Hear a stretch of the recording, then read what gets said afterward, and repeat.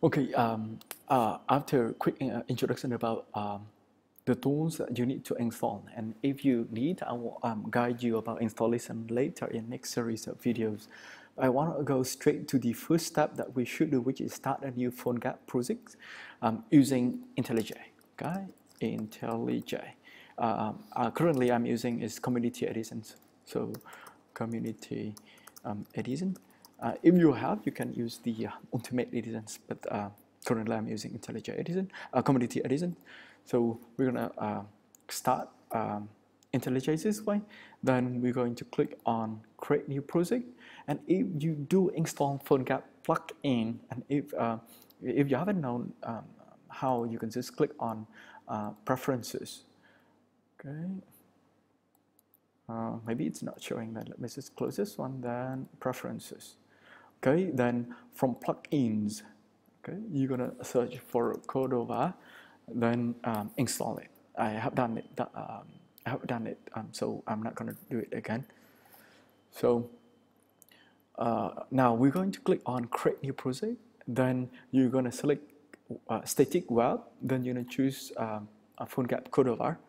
Next so this one I'm gonna call like NCC uh, PhoneGap tutorial. Okay? And CC for that tutorial then we're going to click on finish. Okay. it's going to um, create the um, PhoneGap application for us. Okay? A little bit slow but it's getting there. Okay? So let's just have a quick look at the um, IntelliJ. So this one is code editor. Okay, uh, this one is the run. Okay, this one is our main thing that we should have a look at. That one is the project. If you click on the project, you will have the platforms. So you may have uh, Android platform built over here. You may have web platform built over here. You may have uh, other platforms built in here. Then the most important part of the PhoneGap development folder is the www folder is here, one web folder, in which you're going to develop your website. And this website is going to be loaded into corresponding platforms. Let's say if you developed it with uh, iOS, you're going to have a platform for iOS, and this website will be loaded into that platform. Similarly, for Android, Windows Phone, or any other platforms. Now, in the www, it is uh, you're going to have typical folders of our website. So outside here, you're going to have uh, index.html, which is the main page. Then uh, JS uh, JS folder is to um, store all of the JavaScript file for uh, your um, um, phone application. Then images folder is to store all the images. Then uh, CSS folder is to store the cascading style sheet for your um, applications. Okay, so we're going to click on the um, index. So this one is the main PhoneGap page. Okay, starting page. Then uh, you can do all the coding uh, over here. Okay, or change the coding of JavaScript, and we're going to use it, or change the index.css for the style sheet. We're going to use it later on okay but that one is in coming video so in this video i'm just introducing introducing you to um, creating a new project and have a quick look at what the structure of a project is. Then probably uh, later on you may need to have a look at the plugins. Let's say if you would like to access to some native Android or iOS uh, functionalities, you may need to add the Cordova plugin manually and they're going to appear here okay, so that you can use in your uh, website. Okay. Then um, that one is the typical developments. Uh, so our main focus is developing our our um, our um, website, and then later on we'll use Intel, uh, IntelliJ to and, and PhoneGap Cordova plugin to uh, create corresponding platform. Okay. Uh, let's just give an example in order to we're gonna keep this page. Okay. So connecting to device, the device is ready and so on and so forth. And we're going to um, try to run this, this, application. So you can uh, change, edit the configurations over here for the run. So click on this, click on edit configurations, and you'll see that currently it is about to emulate, emulate with iOS. Um, and it's going to take us a, a long time. Um, and normally you can run or emulate as well. So let's just run it with iOS or with Android or with browser. So normally for PhoneGap development, it is highly recommended to develop, develop it with browser first before uh, you're gonna choose to run it with uh, uh, Android or iOS.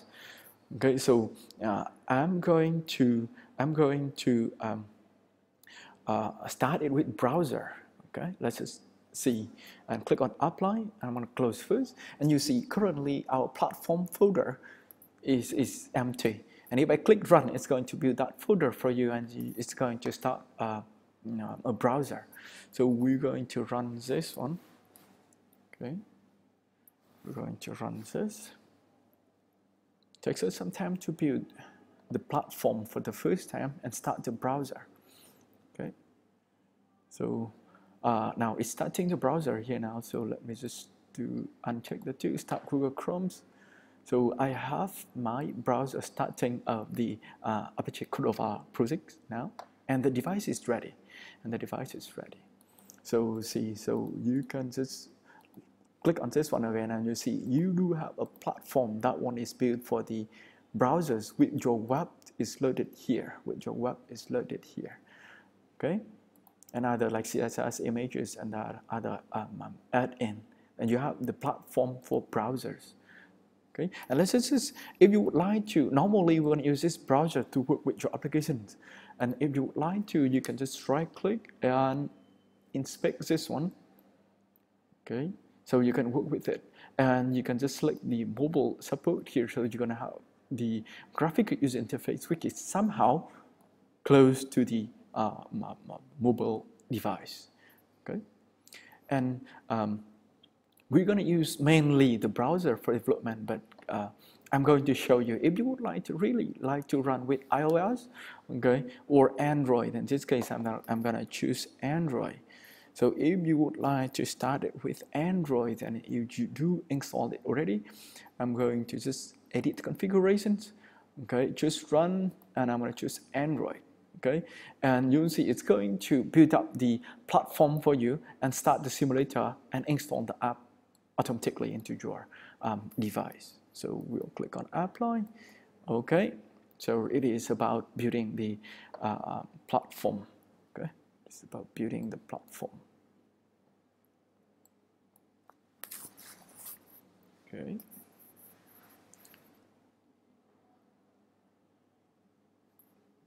Okay.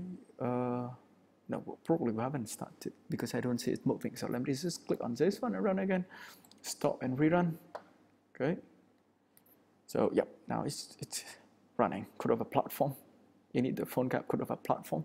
The first time it's built the platform for us over here for Android platform, so it may take some time. Okay. Yeah, it's about building that platform. It takes a little bit time. Okay, building the platform. Okay. Then it's going to start my uh, simulator. For first abuse, okay, running the build, okay. Build successful, that's good. Okay, have the APK. Now deploying to the emulator, okay. So uh, waiting for the default emulator. I have created the emulator already. Okay, so starting the emulator. Okay, yep. Okay, so it's starting my emulator there. Okay, let me see. Yep. So that one is the page. This one is the page, isn't it?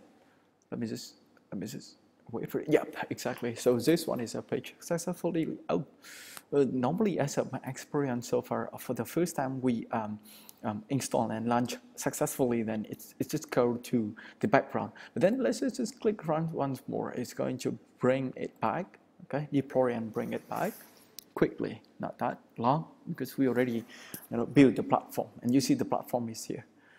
Okay, and you see the platform is here, and we started the server. So now that application is running, that web page is running, or that, that PhoneGap application is running in our website. And we do have the Android platform built over here. Okay, we do have platform Android platform built over here. Okay, with the World Wide Web. Okay, built over here. Okay. So um, similarly, of course, you can start running this one with um, others like um, Windows Phone or iOS. Okay. Next part, I'm going to introduce you to the uh, uh, client development and also the backend development. Okay.